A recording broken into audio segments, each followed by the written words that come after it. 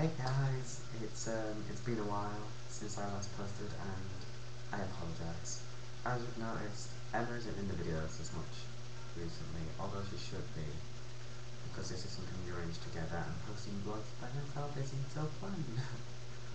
um, but I hope you guys still enjoy them. And I'm currently downloading a movie called Black Christmas. If you've seen it, could you please give me your reviews on it? Because I mean I saw the trailer, it didn't look that good, but I downloaded it because I saw it had one of my favourite characters from Buffy the Vampire Slayer.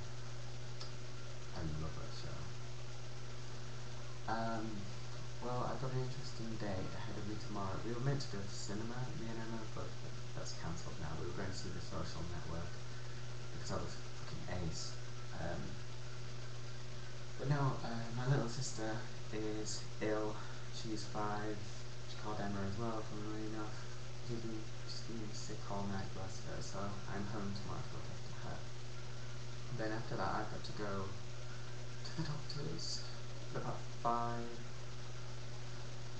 Um, anyway, aside from bad stuff, I hope you guys are okay. I, to be honest, not done much today. But um, tomorrow I've got a surprise for you all. I'm going to make a video. Um, I'm not going to tell you what's in it, but we shall see.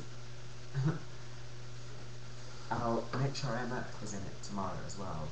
Uh, tomorrow, uh, I know thing I've got to do as well, some, at some point, because I've got to go down to town, I've got to buy some mistletoe kisses, chocolate bars, um, put a ring in the box, and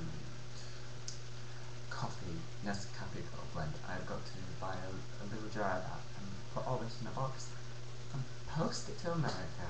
Yeah, America is going to cost a bit for the post and packaging like. Um, it's actually for my darling hubby, Miles Jai, which I love you by the way. So very much. Um, yeah. I'd like to give a shout out to my girl, Kate Perry. She's fucking fantastic. I will leave the link to her channel below and please check her out, she's really funny. I'm going to go now as I'm, I'm sorry to broadcast this, but I can't make the toilet, I'm really. Then I'm going to get a coffee and probably something to eat. So, much love from me and I shall speak to you later on. Peace out.